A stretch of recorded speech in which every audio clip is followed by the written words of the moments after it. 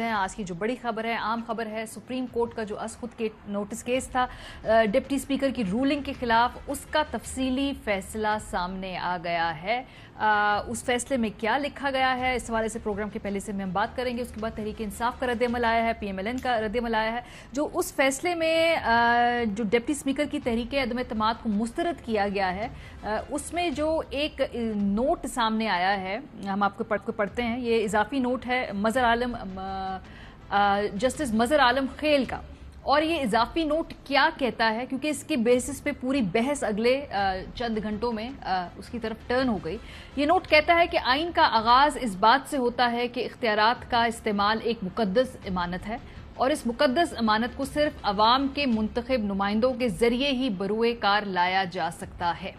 ताहम, दूसरों के साथ साथ सदर ममलिकत वज़ीर आज़म स्पीकर, डिप्टी स्पीकर और वज़ीर कानून की जानब से इस मुकदस इमानत की खिलाफ वर्जी की गई।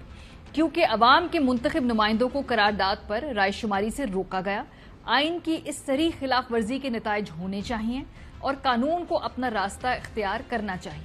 डिप्टी स्पीकर के करारदाद मुस्तरद करने से लेकर सदर की जानब से कौमी असम्बली तहलील करने तक गैर आइनी इकदाम का एक सिलसिला देखने में आया, जो मामूल की कार्रवाई हरगिज नहीं थी, बल्कि ये पहले से तयशुदा और सोचे समझे मंसूबे का हिस्सा था, जिसका मकसद आइन के साथ धोखेबाजी करते हुए अदम एतमाद की करारदाद को नाकाम बनाना था।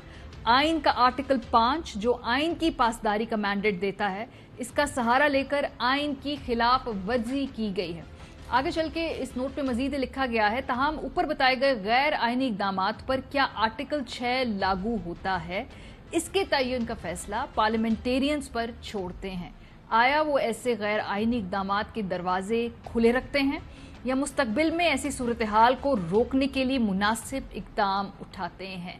जैसे ही ये तहरीरी फैसला जो डिटेल्ड है सामने आया उसके बाद हमने देखा कि प्रेस कॉन्फ्रेंसेज हुई पीएमएलएन की तरफ़ से आ, पाकिस्तान तहरीक इंसाफ की तरफ़ से। राना सनाउल्ला साहब ने हुकूमती इतिहाद की जानब से प्रेस कॉन्फ्रेंस करते हुए इंडिया के आर्टिकल छः की कार्रवाई के बारे में हुकूमत जो है, बड़ा सीरियसली सोच रही है और उस पर काम भी शुरू कर दिया है।